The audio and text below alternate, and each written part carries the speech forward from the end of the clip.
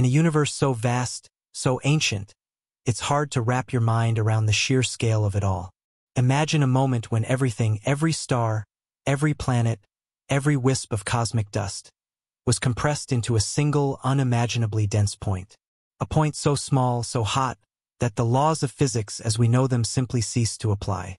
This is where our story begins 13.8 billion years ago, with an event that set the cosmos in motion. They call it the Big Bang, but what sparked it? What ignited the greatest explosion in history? And why does it still captivate us today?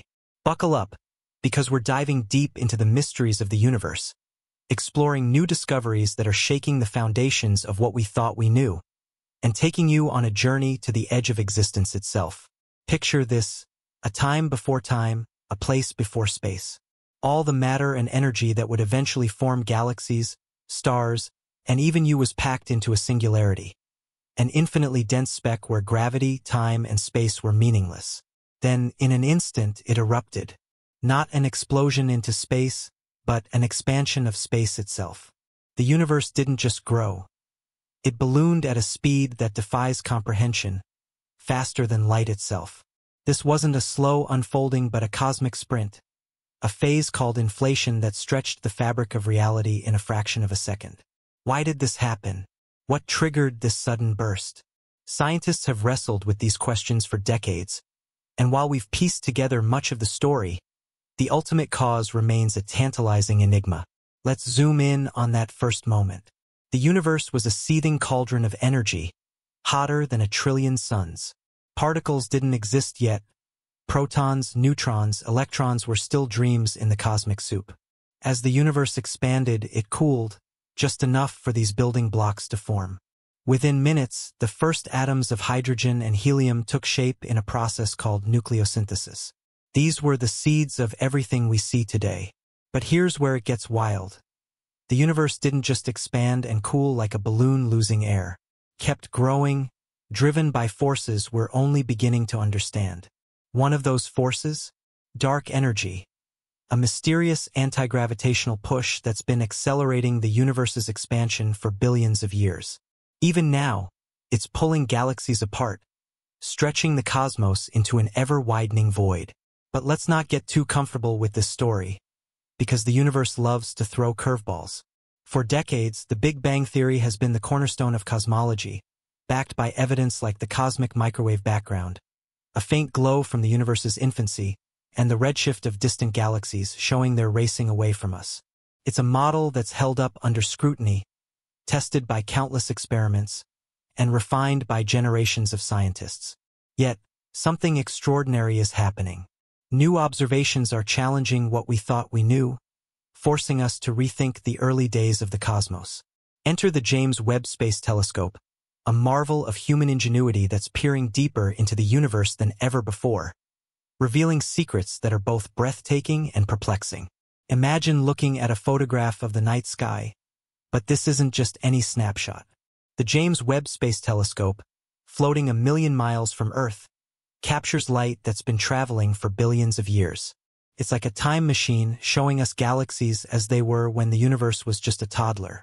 In one image, you might see hundreds of galaxies, some spiral, some elliptical, some glowing with the light of newborn stars.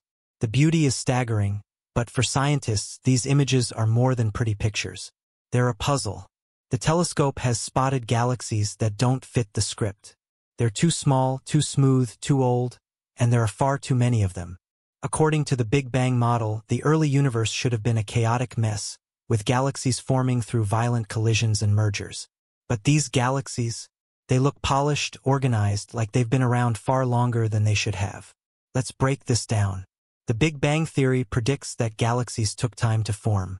After the initial expansion, tiny fluctuations in density, ripples in the cosmic soup, grew into the seeds of galaxies. Over hundreds of millions of years, these seeds should have collided, merged, and grown into the massive structures we see today. But the James Webb Telescope is finding galaxies that look like they skipped the messy teenage phase.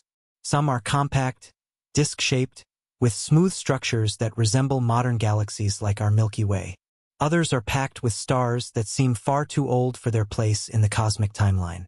And the numbers? Astronomers expected a handful of early galaxies. Instead, they're seeing hundreds, maybe thousands, in a single frame. It's as if the universe grew up faster than anyone predicted. Why does this matter? Because these findings poke holes in our understanding of how galaxies form.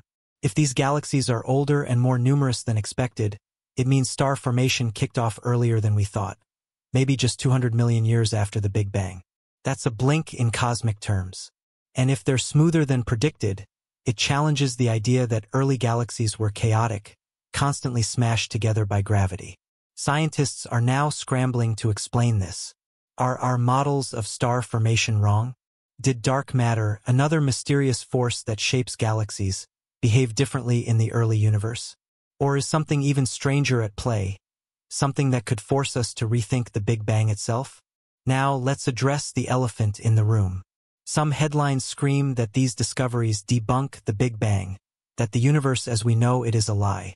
But let's be clear, that's not how science works. The Big Bang Theory isn't a house of cards ready to collapse. It's a robust framework built on decades of evidence.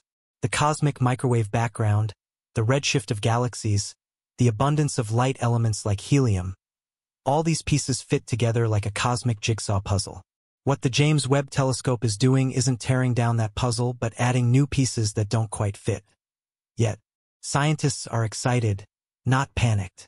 These anomalies are a chance to refine our understanding, to ask better questions, to dig deeper into the universe's story. So what could explain these odd galaxies? One possibility is that our models of galaxy formation need a tune-up. Maybe stars formed more efficiently in the early universe, fueled by denser clouds of gas or triggered by bursts of energy from black holes. Another idea is that dark energy or dark matter played a different role than we thought, shaping galaxies faster and more smoothly.